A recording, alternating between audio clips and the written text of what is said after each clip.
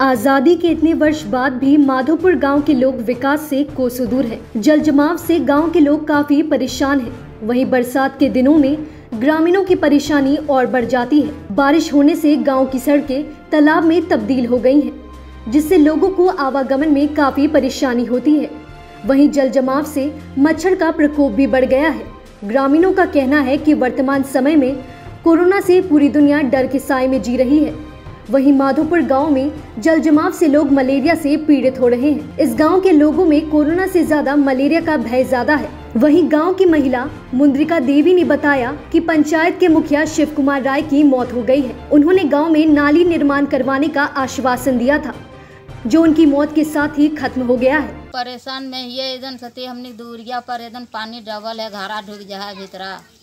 और एकदम सती जो, मुखिया आल, हमने कैसे मुखिया मर गए आ मुखिया के कहल गलिए तब मुखिया कहल कि हमारे भटा दिलहिन की से बनाए देव यह तो?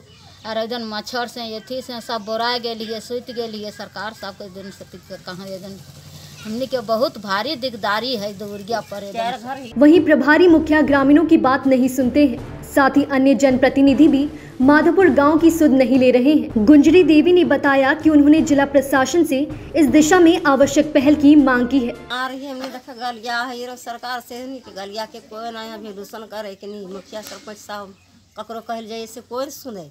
चारों घर में पनिया डूब जाए। पर वैसे दुर्गे पर है कला दे दल यार नहीं नलिया है एकदम दल चीर के राख से एकदम खराब है चार घर में एकदम डूब जाए इतना इतना घर आँगन में पानी चल जाए। वहीं गंगिया देवी ने कहा कि माधोपुर गाँव की सड़कों को जल्द से जल्द दुरुस्त नहीं किया गया तो ग्रामीण सड़क पर उतरने को बाध्य होंगे। परेशानी है हमने के यह जे गल नलिया में हमने नाली ना बना गलिया में पानी बो है चटकला के पानी रो है यहाँ। हमने परेशान कर ये घर बेटा घर घुस जा पनिया। हमने के चार घर, ये पाँच घर ये इन्हें से मुखिया जी के कहल गलिए।